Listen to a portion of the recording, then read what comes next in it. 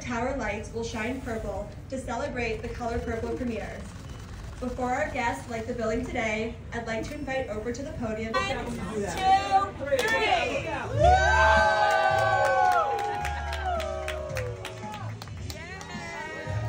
Hold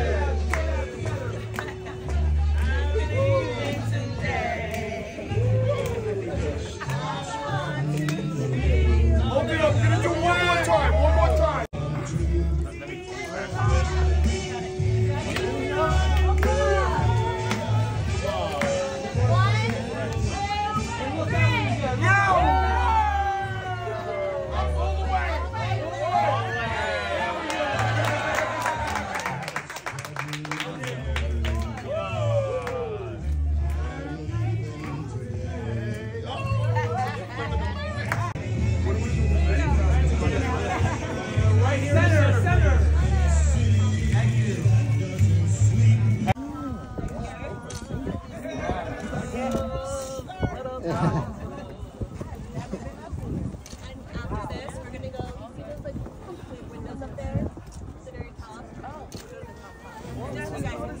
Oh, hey, you all are back. Did you think you could escape? No. Okay, awesome. Get him. We'll do a group shot. I know it's cold. We'll do a group shot. I can't see a thing. Can anybody see anything? There we go. Where are we looking? Right here. Oh, wait, we're starting right down here. Okay. Everybody right down here, and then we're gonna go all the way around the, around the ring. Come on, Fantasia. I want you. Be a part of it.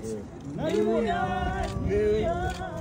guys together just a little shot there, little shot. And I'm really getting tired of black women having the same story. It's breaking my heart.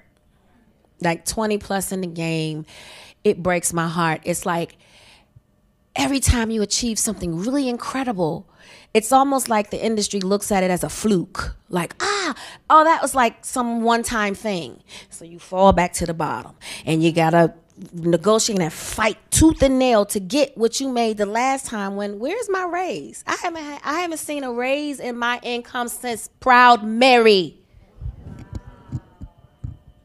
And almost had to walk away from Color Purple. Yes, ma'am. Who said what? yes, ma'am. Yes, ma'am. Because you know what? If I don't take a stand, how am I making it easy for Fantasia and Danielle and Halle and, and, and Phylicia? Then what? Why, why am I doing this? If it's all just for me, what the? Why are you here? We are to service each other. God is very clever. He put us on this earth and He made us all look different. He made it complicated. We need to figure it out, and we can, and we are. You have to look at look at the glass as half full. It's always half full.